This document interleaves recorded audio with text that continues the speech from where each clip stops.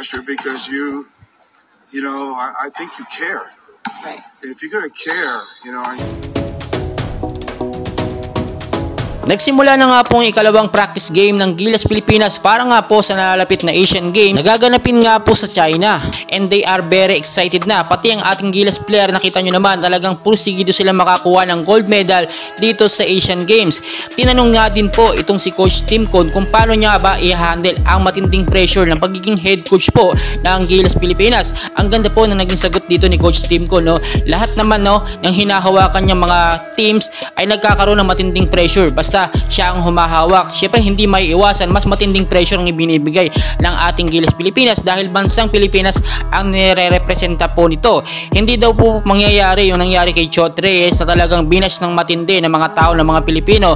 Ngayon po kasi maganda yung naging rotasyon at maganda rin yung lineup ng si Coach Tim Con.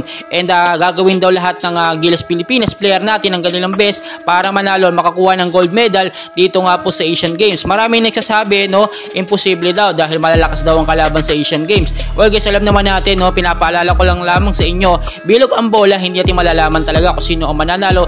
Ang tanging magagawa natin ngayon ay suportahan na ating Gilas player. Makikita nyo sa ilang mga updates no, talaga nagsimula yung pangalawang practice game ng Gilas Pilipinas and magtutuloy-tuloy pa po yan sa mga susunod na araw. Kinakailangan po kasing makuha ng Gilas player natin ang kanilang chemistry sa bawat isa dahil yun po yung at kahit nga po nasa recovery period pa itong si Justin Brawley ay game na game nga po siyang dumadalo at hindi uma-absent sa practice po ng Gilas Pilipinas. Pagpapatunay lamang ito na talagang gusto ni Justin Brawley makapagbigay ng karangalan at makakuha ng gold medal dito nga po sa Asian Games. Ngayon din po manalo man or matalo ang Gilas Pilipinas sana wag natin i-bash ang ating mga Gilas player no.